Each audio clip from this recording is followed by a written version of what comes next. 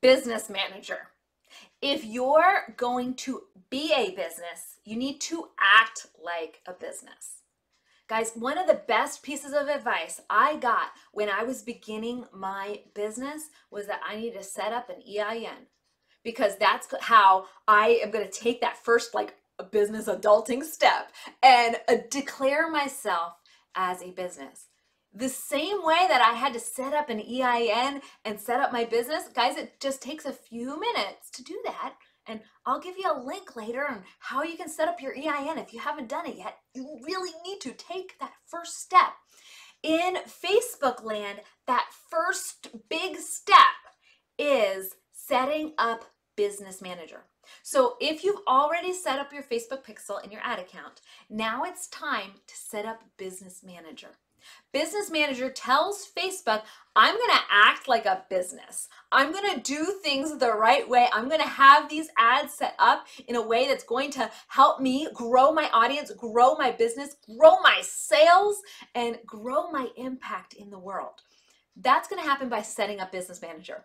If you're on right now, you've gone through the quiz, you've figured out that you need to work on setting up your Business Manager the right way.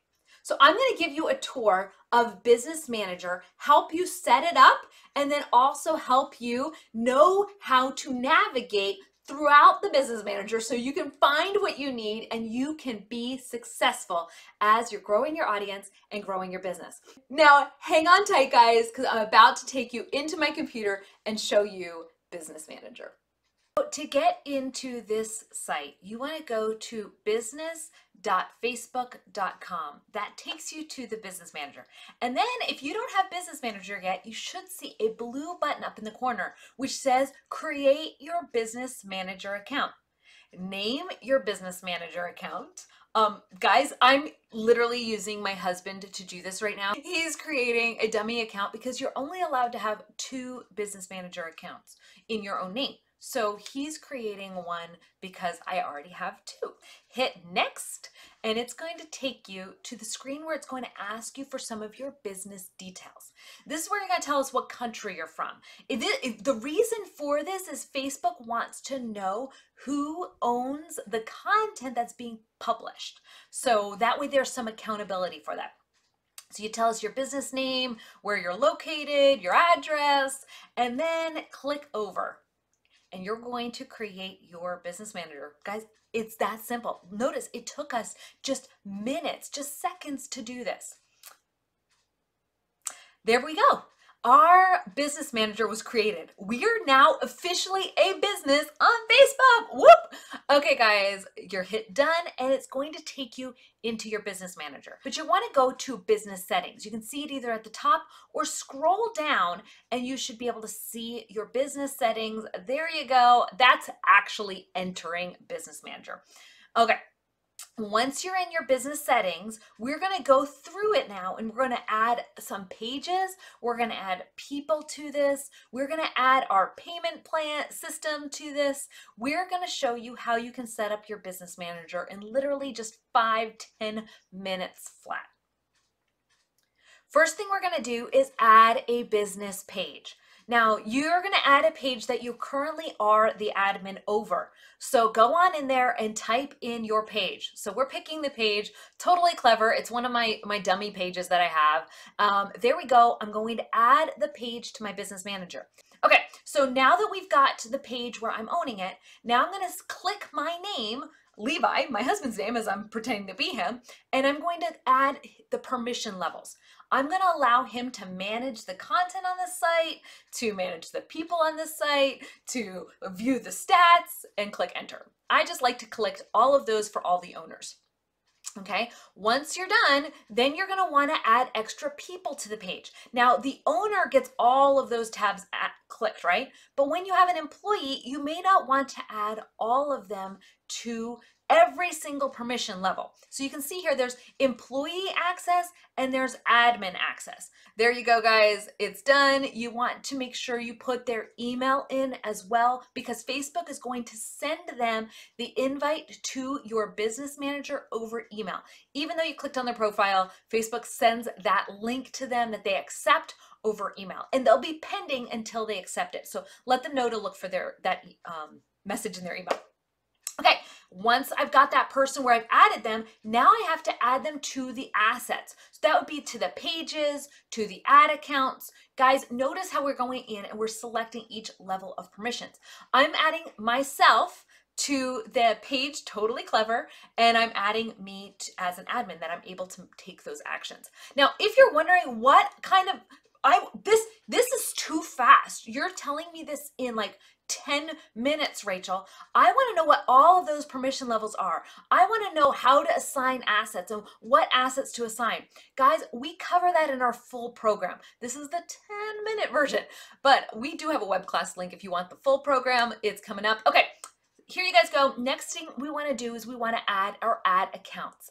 Here, and then we can add an ad account or we can create a new ad account, which is what I'm doing. I'm typing in um, totally clever because I'm going to make a new ad account. You can have multiple ad accounts under Business Manager. That's one of the benefits of Business Manager. You can have multiple pixels, multiple ad accounts, and it lets you have some protection if, say, you're working for someone else. You're able to access their account, but not have your personal profile as um, affected by their account. Okay, so there you go. So once we're done, we assign the person that's running Business Manager the ad accounts to run. My page, my business, my person owns this Instagram account. My business, my person owns this page. So it's a lot harder for someone to hijack your brand when you've done this. It's it's just like using an EIN and getting trademarked. This is one of those things that you do to set up your business. And here you can see pixels. I don't have any pixels yet in my business manager. I have to manually add them. Voila! Okay, now notice guys, I can configure my pixel in multiple ways. I can copy the code and manually put it in, or I can even send it to um, someone who goes in and edits, is, is like a webmaster for me, and they can install the pixel for me. There's three different ways to get your pixel set up. So once you're in, then you can set up offline events. Guys, this is just a dummy one that I'm setting up as an example for you. This is an offline event is when someone goes to your store or goes to an event that you have. So let's say they showed up in person at an event, but I want to track that so I can follow them later on Facebook. And I'm saying, hey, this person paid 10 bucks to show up at my event. And I'm going to track that as an event action so I can follow up with them on Facebook with content just for them. Okay, so you can see here, now we've set up tracking, and of everything, guys, you also have to set up permission. So I have to go through in every single level, make sure that the people that are on my business manager have the permissions to take those actions and make a difference in my ad account. So now I'm able to go in and edit and um, track what happens in those offline events. You can also create custom conversions, and that's something, again, guys, we're going to go into in more depth, but there's different ways you can create custom conversions.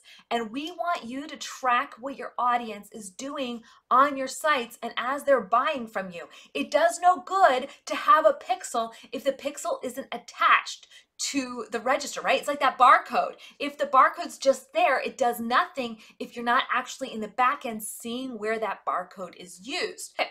Here you can see we've got our business details. Make sure as you're setting up your um, your page and your business manager that you fill out your business details as well as your um, payment system. We also want you to set up security. You want to make sure everyone on your business manager has two-factor authentication um, enabled and required from them. You also want to verify your business. This means Facebook eventually is going to send you a, a paperwork and say, where's your driver's license? Prove who you are, prove your EIN, prove you are this business that you say you are and you have this mailing address. Facebook does that because they want to make sure they're getting their money, that they're being on the up and out, and that they're not in trouble if an ad is portrayed in a wrong way.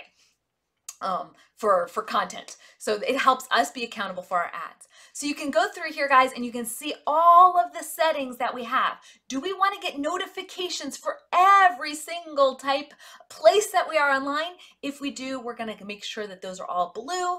And then here is the setup guide.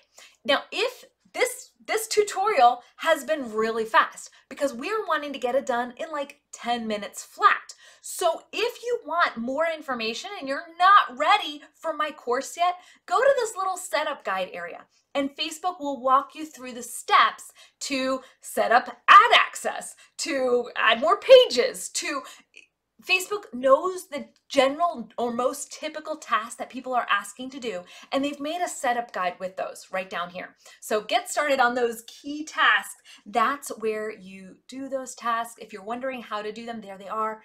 And whew, guys, thank you so much for being part of that with me. Now, I know setting up Business Manager, setting up your ads, that is part of the equation. But ultimately, you need an active audience we have a masterclass just for you. It's all about how to uh, build the engagement that you need, how to stack your content, what kind of content you should be posting, how to get people to talk to your brand, how to get people to buy from you and become from strangers to fans to buyers, and then buyers who bring on more strangers and, and help your audience explode.